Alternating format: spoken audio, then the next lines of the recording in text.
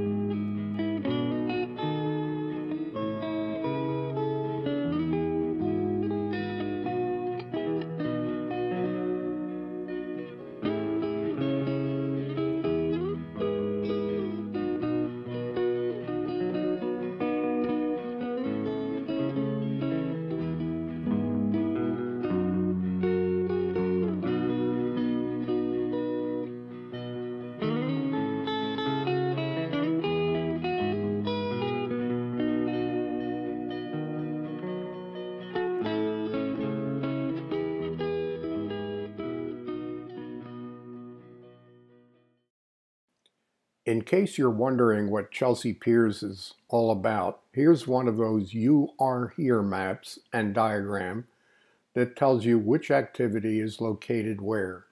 Keep in mind that Chelsea Piers is multi-level, it's huge, and just to make sure we realize we're in New York, there's a multi-level, I think four stories of golf driving range, one on top of the other, where you hit your golf balls over the Hudson River, but it's all enclosed in nets, so none of the golf balls goes into the river.